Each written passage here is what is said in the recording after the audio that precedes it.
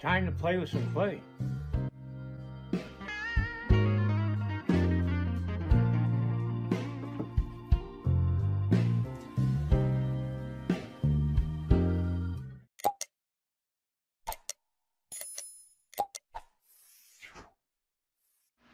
Okay, I printed out the bottom of the dress from a photograph I took of the dress and uh, this is what I've come up with and I also uh, scaled it to the little drawing I did yesterday and uh, so now I'm just going to line this up with the bottom of the dress and that will give me the proper height all the way across.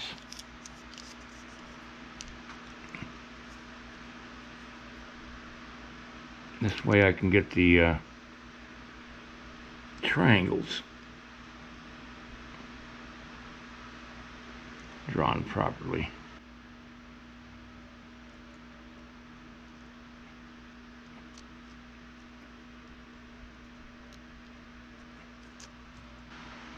That way I can get them all the way around the curve without uh, distorting it.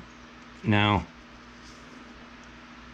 the triangles get less as you go down towards the outer edge of the dress.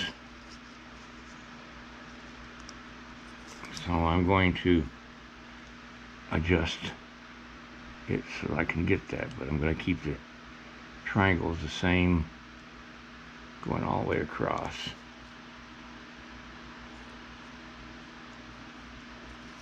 There.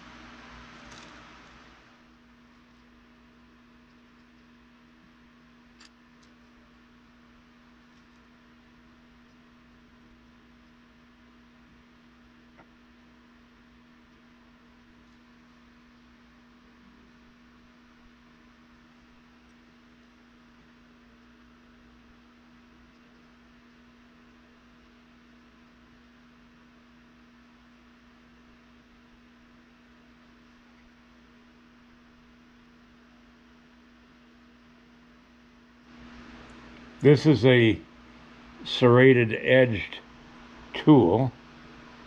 Let's see if I can show you.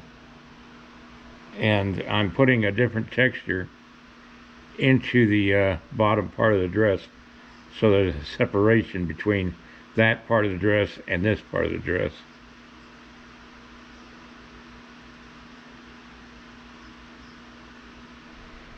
What I'm doing is I'm marking where the uh, beads, a, a, a uh, line of beads are going to go on this uh, dress.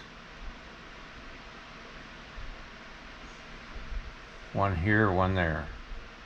And uh,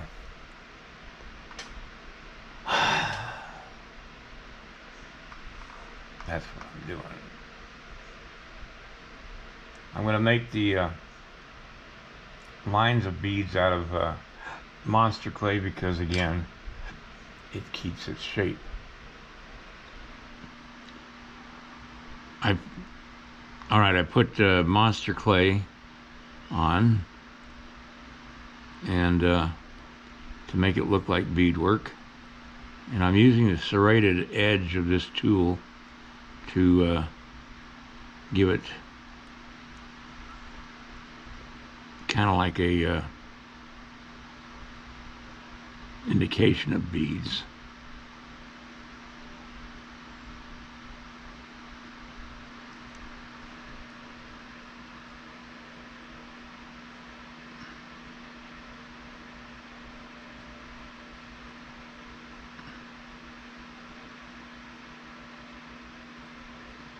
I don't want to overdo it.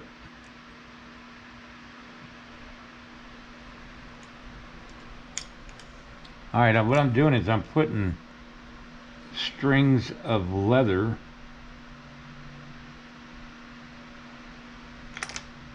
coming off the belt. And this is before I put the uh, beads on because once I put the beads on, it's be hard to do this.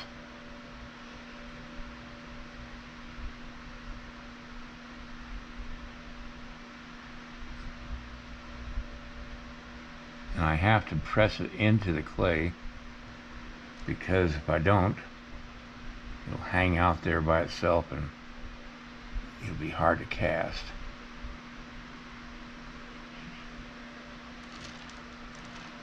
That looks pretty good.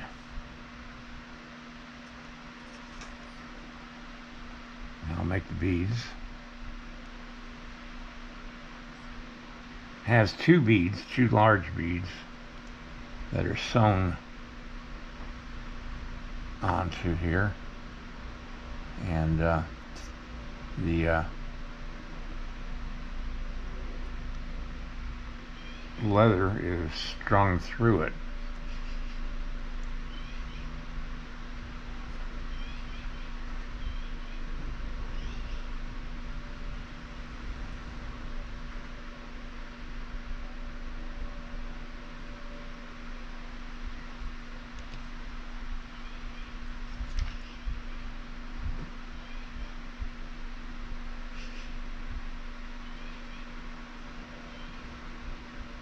Okay, I'm going to come back after I get all this done. Because uh, it's hard to video it and uh, do it at the same time. Be right back. Okay, I'm putting the final couple of beads. This is taking a lot longer than I thought it was going to take.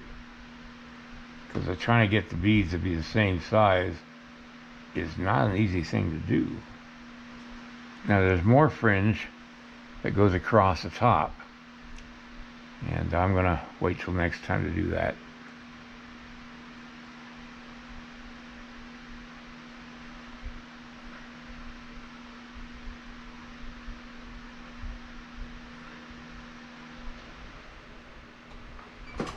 Alright, this is the uh, last thing I'm going to do today. I better get my glasses on. Oh, I got them on.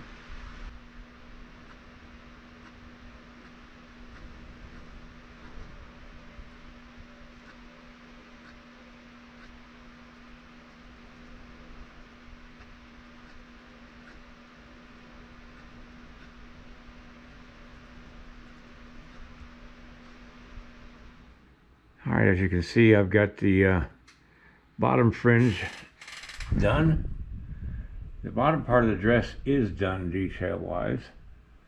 I've got the uh, pattern on the back of the uh, dress, which is hidden mostly by the blanket.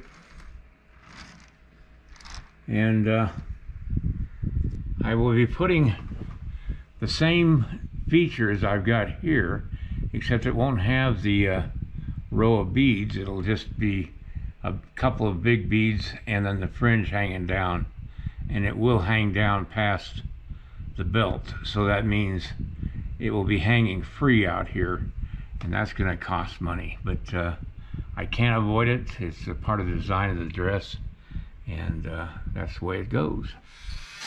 All right. See you guys tomorrow. Good night. Please give me a like and a subscribe and ring the little bell also, don't forget I have instructional videos available now online.